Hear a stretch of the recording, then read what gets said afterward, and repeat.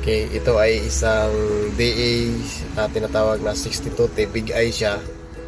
Yung model siya na ang makina ay pang transformer. Kikita nyo man guys sa forma ng dashboard niya. Yung hazard niya dito nakalagay. So DA62 ito. Ang makina nito ay Q6A. So ito guys, ang problema nito ay ah, namamatay-matay. So hindi siya namamatay pag ah, naka-RPM yung makina niya. Pero yung pag expecting to stop ka na, yung pag habawa nag-clutch ka o di ba pahinto ka na, doon siya namamatay. So pag ini-start mo na, i-start naman siya. So ang problema nito guys ay yung kanyang ah, easy valve, ay easy valve yung tinatawag na idle, ah, idle air control valve. So ito yung problema nito guys.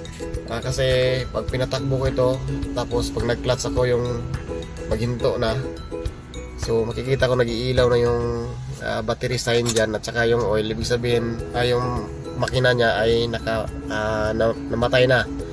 So yun, at ito guys, ang problema ng mga ganitong sakit, ganitong sistema na pag tumatakbo ka taka yung halimbawa hihinto ka, nag-clutch ka o mag-neutral ka, namamatay siya bigla. So ibig sabihin walang minor. Kaya ang problema nito guys, yung IEC valve. So pakita ko sa inyo saan nakalagay yung IEC valve nito. Okay, so dito yan sa ah, ilalim ng passenger side guys. Ah, yun. Okay, yan. So yan yung uh, day ah, 62 na big eye na 6A yung makina. So, ah, dali.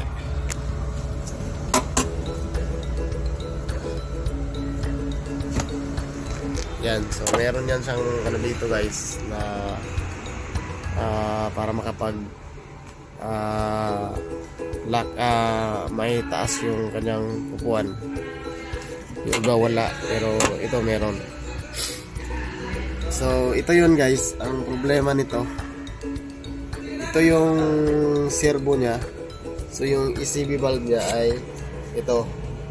So, basta mga ganitong unit, kalabahan nito 3F ang code nitong ah, ECB valve niya. Yan. So, ito yung sira guys. Kasi malalaman mo rin kung sira ito.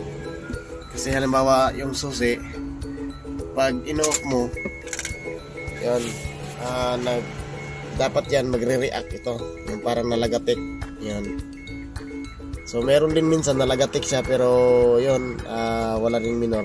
So, kalabangan talaga nasisira guys. Itong ah, ECB valve niya. Kasi ang servo ay walang adjustan ng minor. Kasi pag inadjustan mo ang minor niyan, may mga disadvantage guys.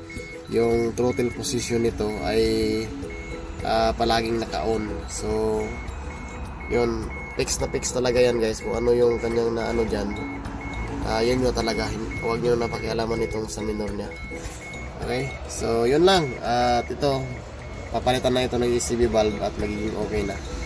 Okay, so yun lang.